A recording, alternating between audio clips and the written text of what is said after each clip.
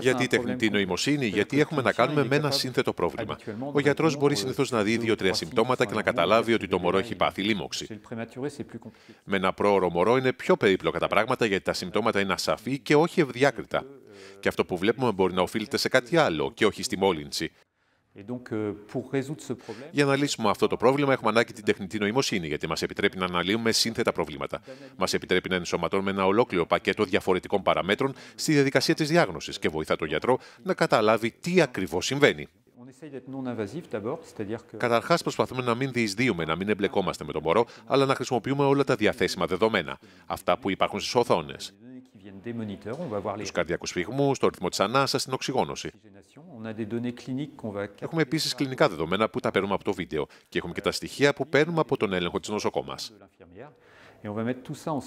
Euh, τα συγκεντρώνουμε όλα και ενσωματώνουμε πολλά μωρά στη μελέτη μας. Έτσι μπορούμε να βρούμε τα μωρά που αντιμετωπίζουν κίνδυνο λίμωξης και αυτά που είναι υγιή. Με βάση αυτά τα στοιχεία, αν κάνουμε μια προβολή για κάποιο παιδί σε αυτές τις αναλύσεις, θα έχουμε την πιθανότητα να υποστεί ή όχι κάποια λίμωξη μέσα στον χρόνο. Το σύστημα στέλνει ειδοποίηση στο γιατρό ώστε να αποφασίσει αν πρέπει να ξεκινήσει ή όχι κάποια αγωγή. Η εξέλιξη προς την οποία οδεύουμε συνδυάζει την τεχνολογική με την ανθρώπινη πρόοδο. Δεν είναι σε αδυναμία, το αντίθετο συμβαίνει. Χάρη στα συστήματα διαγνωστικής υποστήριξης, δίνεται περισσότερος χρόνος στους ανθρώπους και στις σχέσεις. Η ιατρική εξελίσσεται διαρκώς αυτά τα δύο ζητήματα.